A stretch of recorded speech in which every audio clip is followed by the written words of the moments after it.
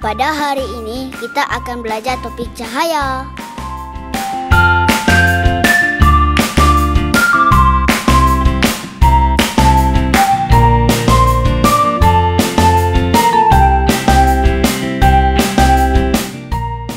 Fokus kita pada hari ini ialah pembentukan bayang-bayang.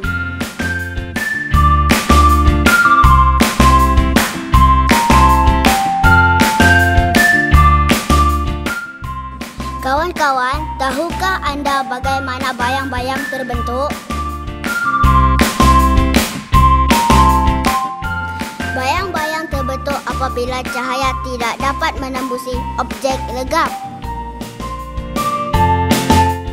Lihat animasi ini.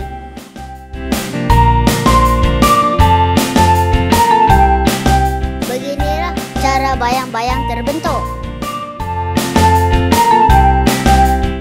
Terima kasih kawan-kawan kerana sudi menonton animasi ini.